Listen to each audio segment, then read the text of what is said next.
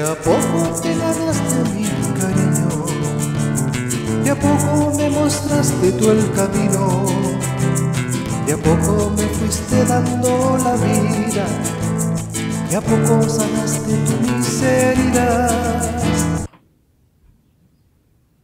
Sí, ahora sí, tanto que ya vamos llegando, que ya vamos llegando y llegamos al final, llegamos al final de este mes.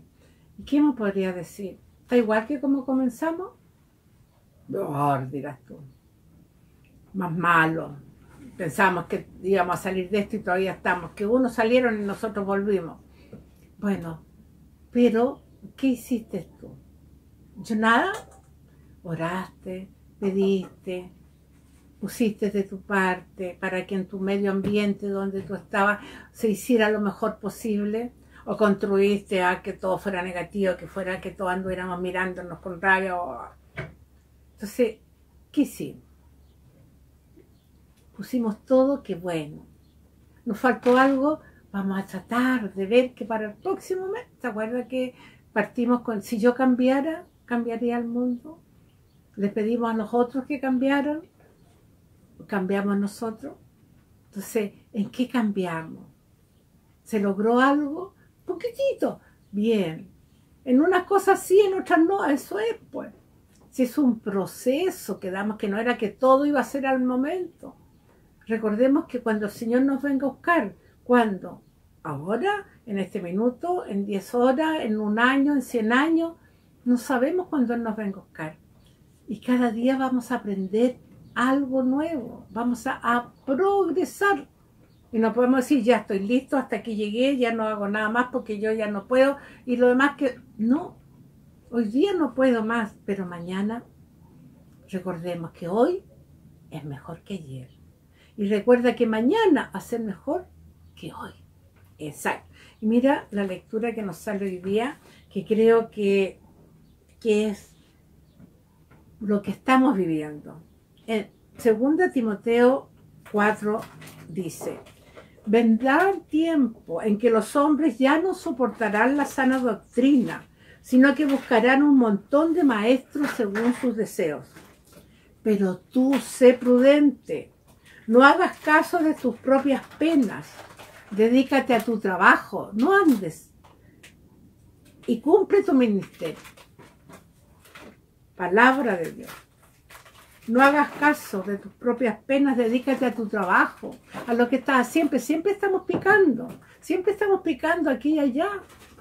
Y eso perturba, eso molesta. ¿Y cuántas veces te lo han dicho?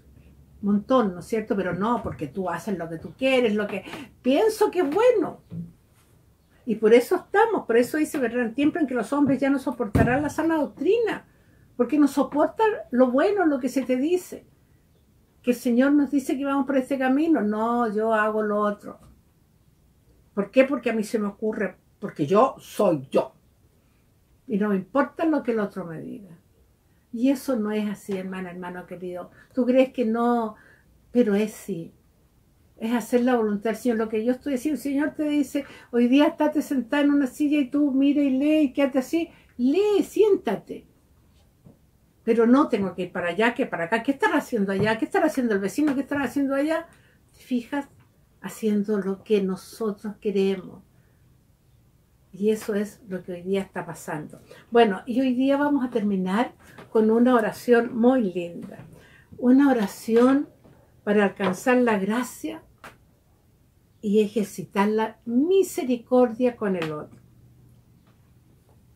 Oremos y digámosle de corazón, deseo transformarme en tu misericordia, Señor, y ser un vivo reflejo de ti, mi Señor amado.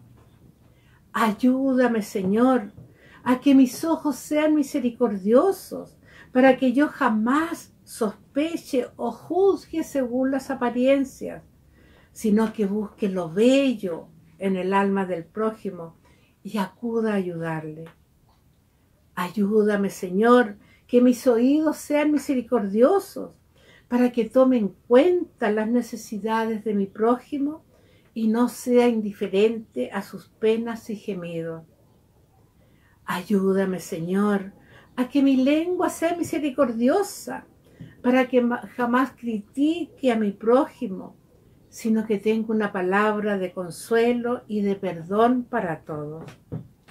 Jesús mío, transfórmame en ti, porque tú lo puedes todo. Amén. Amén. Quedémonos con esta, con esta frase que creo que nos va a ayudar. Ayúdame, Señor, a que mi lengua sea misericordiosa, para que jamás critique a mi prójimo, sino que tenga una palabra de consuelo y de perdón para todos.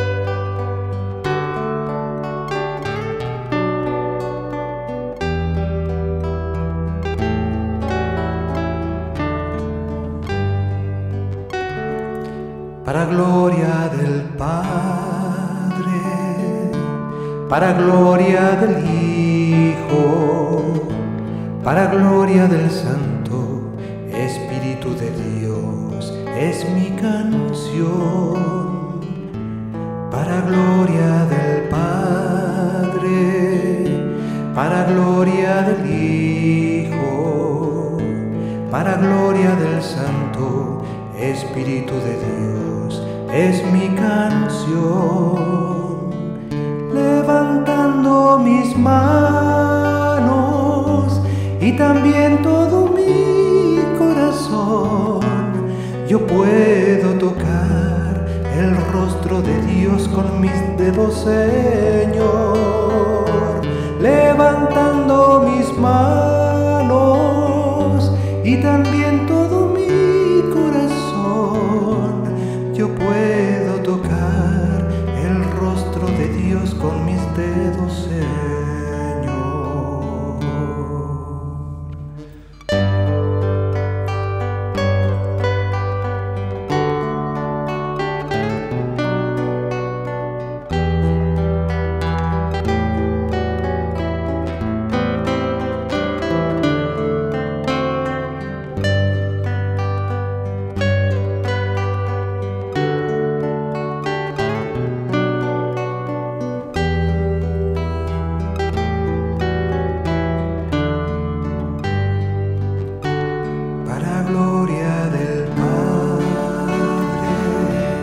del